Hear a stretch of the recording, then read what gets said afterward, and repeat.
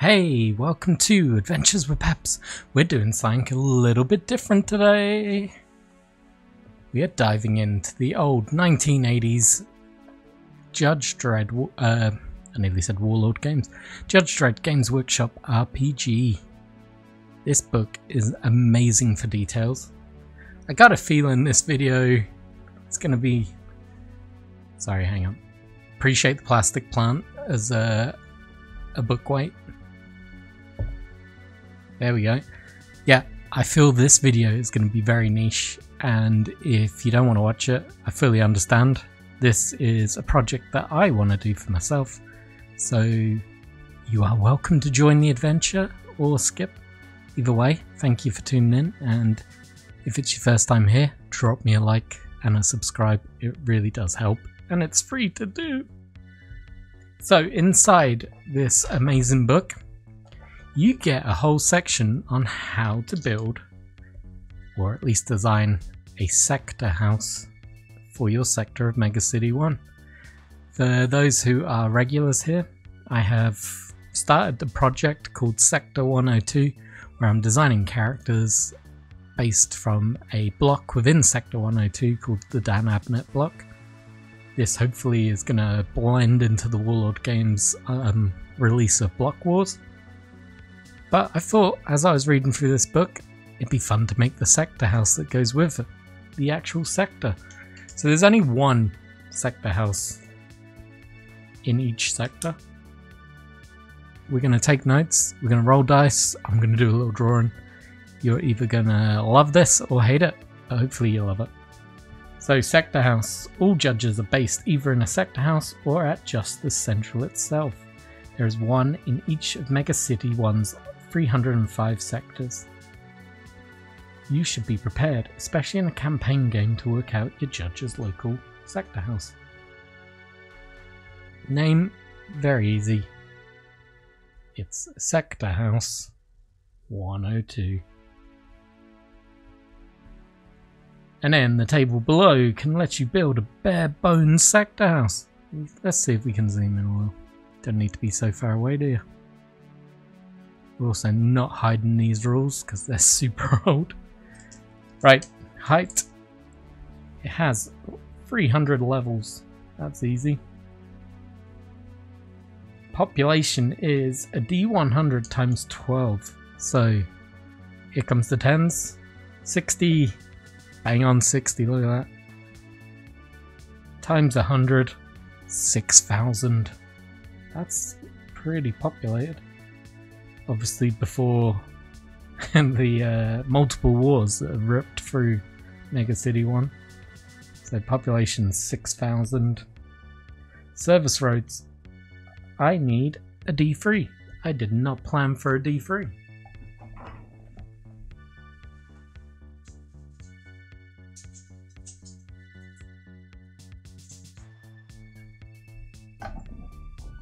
So service roads D3 plus 2. So it's 1 plus 2. There's a free service roads. wow, that's not many. Uh, service roads 3. And they are on, I assume they're going to be on different levels. Make no sense to have all of them going into one spot, would it? So D3 100 or free 100. What? Free D100. That makes no sense to me because then it could possibly be on the highest level. Anyway, let's give it a go. So we've got to do free 100. So, first one. Free 36 plus 83. Oh my god, I've gotta do math now. Uh, 30, 39, 119, 149, 158. So one is on 158. I was not planning on this kind of math going on here. We then got two, 44, uh, 51, 61, That's a low down one. 99. Nice. Uh, that makes it 159. Bang on 159. Oh, this one's going to be high. 100 and 230 245 i probably got that wrong but we are now going with that hoverports d2 that's an easy one one one hoverport hoverport is on it's going to be a 2d10 plus 100 so nope that doesn't work. Right. 35 plus, that makes 55. 59 plus 100, it's on level 159. That actually isn't too bad because you got service ro road on the level below. So that kind of makes sense. Vehicle parks, D3 plus 2. So 3. 5 in total. Oh man. Who knew? I tell you what, I have never DM'd a game. I now have more appreciation for how much work they put in. What did I say? Five vehicle ports. Oh god, we're going to be here all day. Feel free to... I might speed this up so you don't have to watch all that. But here we go. We've got 10, level 11, plus so we're now at 81. 89. Vehicle port 2, 34, 40, 82. Well, they're close to each other. Then 83, 90, 157. Oh, wow. Hoverport is above the service road, which is above the vehicle bay. 42, it's all coming together. 67, 112. If I make any math mistakes, feel free to point them out, but I'm not going to change anything once I got these numbers. 82, 102, 149. There we go. That's uh, the first page of the sector housing done. That's uh, we need a name for the plant. Feel free to drop me any suggestions. Ideally, thinking maybe Walter. Walter the the water plant. I don't know. I think I've lost the plot, guys. It's I'm recording this on a Friday. I've had a long, a long week at work. I may have completely lost the plot. So we then have repair bays, D3. Watch these be in completely random places. So two repair bays, D100. So 90 is the first floor. It's near the vehicle port. Tell you what, that's all coming up. Um, 57. Nice. Right, entrance hall. There is one entrance hall. Entrance hall. Let's have a look where you're going to be. Level 2. Then we have D6 plus 10 elevators, which go on all levels. So we have elevators, grand total of 14 elevators. Probably won't draw them in, but uh, good to. Stairs, 2D3. So three, five staircases. Staircases, five. Ramps, we have D2 ramps. One. Ramp one. That's probably going to go into the entrance. That makes the most sense. That's not what I meant to put. Uh, ramp, where are we? Ramps, all levels. Oh, okay, there's one ramp per level. Oh, I guess that's maybe one of the staircases would have ramps. I was thinking a vehicle ramp. Normal ramps make more sense. Anti-grav chutes. All levels again. Anti-grav chutes. 2d6 minus 2.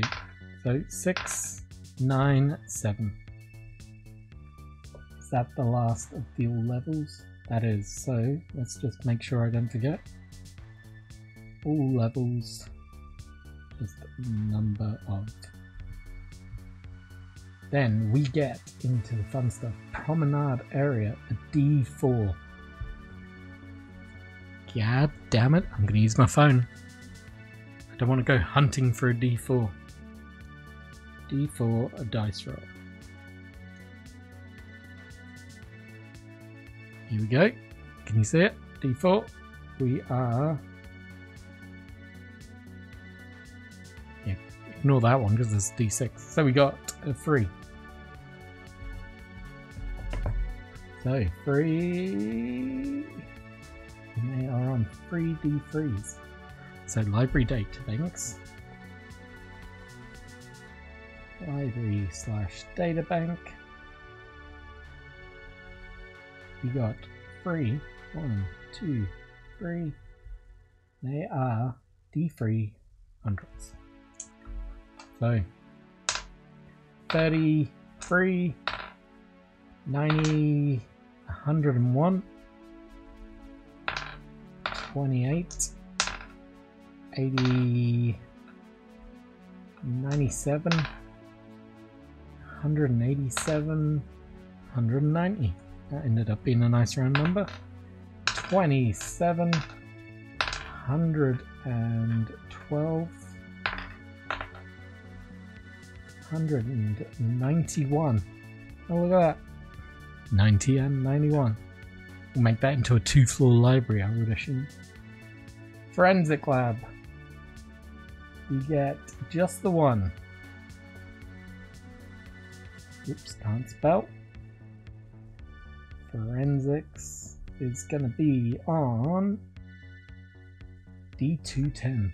So 32, uh, 52, 57. Do we have anything? We have a repair bay on 57. Got some exciting things going on here. Medical sick bay 2d6. One. Only one med bay. And that is going to be located on 2d10 plus 50. 75,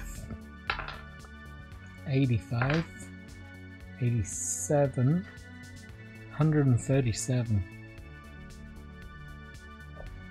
Then we have one Holden tank. Holden tank slash interrogation.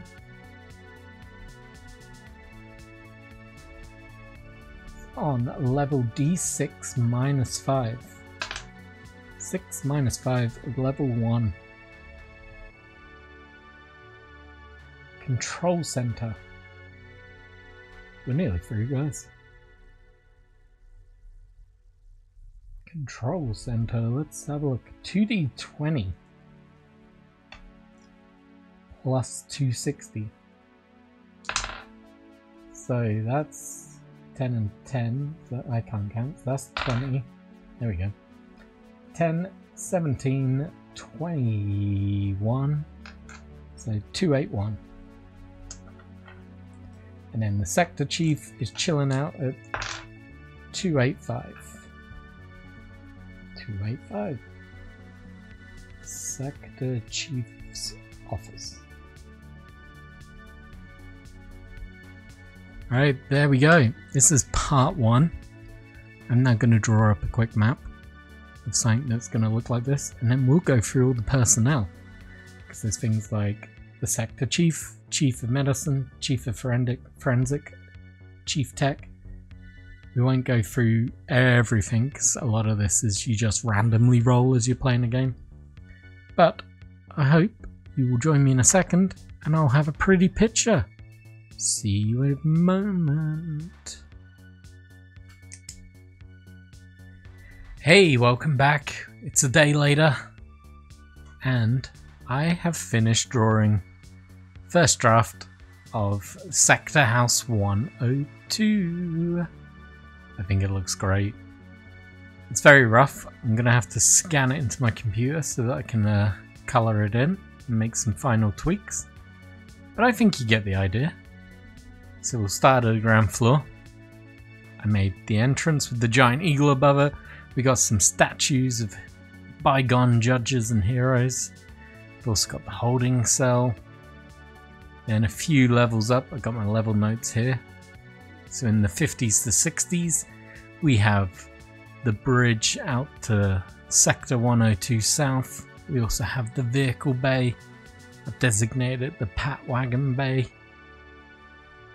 Then over here, we've got Sector 102 West Street.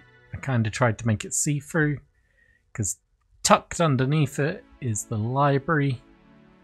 Then we've got a few floors that are purely for the med bay.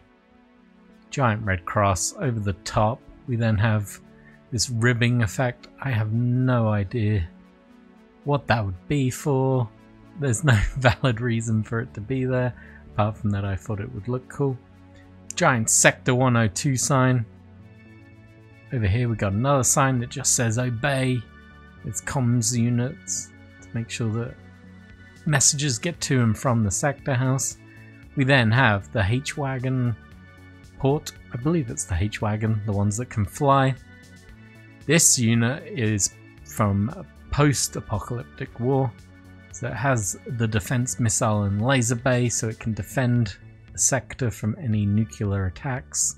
We got the dank dank we got the data bank area, giant windows staring out like a creepy eye. I can imagine uh, it's like I forget what they're called now in the game or in the comic. PSU, the surveillance team, probably hang out in there. Then we got another massive eagle because you can't have enough eagles when it's Judge Dredd. We also got the third and last service road. This one goes out to the Sector 102 North. We have the gym and physiotherapy area. Big giant windows because you gotta you gotta love the view when you're working out. The attempt at the flag. I remember there was four mega cities, so I've gone with like four symbols and five stripes. I can't remember if that's correct or not. I need to look that up when I go to color it all in. Then up here we got sector control, which also has these massive windows so that they can peer out over the sector. We've got the dormitories at the very top and the sector chief's office with some extra comms arrays. So there you go. A little bit of a different video. I appreciate it if you've stuck this far through. If you're not already a follower, I think uh, give me a like because you've made it this far. You must have found something that was fun. I'm happy to have this now. We're going to work on the Dan Abnett block next, I believe. And uh, yeah, drop me a comment, let me know. I know this was a bit of a weird video. Using a 1980s role-playing game to design this sector block and me drawing it. Let me know. Like it, hate it. Tell me in the comments. I'm here to I'm here to listen. I think this is very niche. I'm not entirely sure how well it will do. But I had a lot of fun. So I definitely want to do something like this again. But until then, cheers for watching.